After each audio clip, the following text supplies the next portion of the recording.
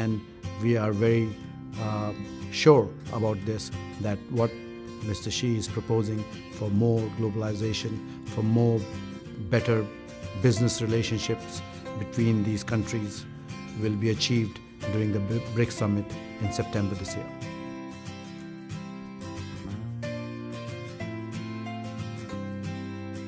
I totally agree with uh, President Xi Jinping's idea, and uh, BRICS is a very good platform to do that.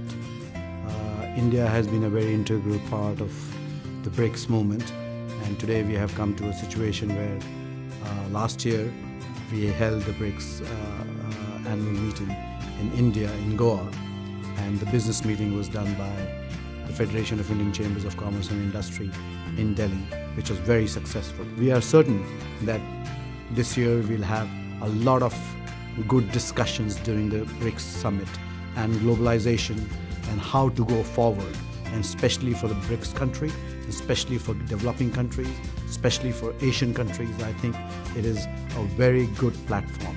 I mean, we've seen a massive shift in the weight of the world economy from the west to the east, from the north to the south. And I think it is important that all the different countries, and especially, of course, China, have not only a right to speak, but a duty to speak and to play their role in you know, improving the state of the world.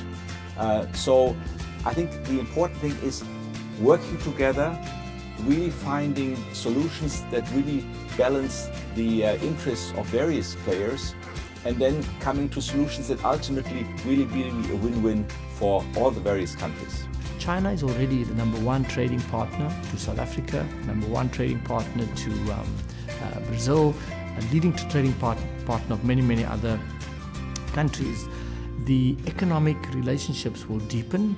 Uh, as you know, when the five heads of state come together in Xiamen uh, later this year under the leadership of President Xi.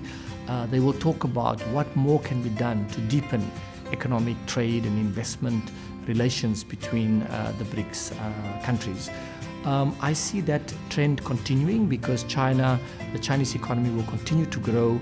Uh, there's still a lot of strong drivers to propel the Chinese economy forward in terms of uh, numbers of, of um, uh, urbanization, people moving to the cities, the need for airports, the need for, for, for, for infrastructure, and also as the commodity uh, cycle turns, I think China will, will continue to play a significant role in contributing to global growth.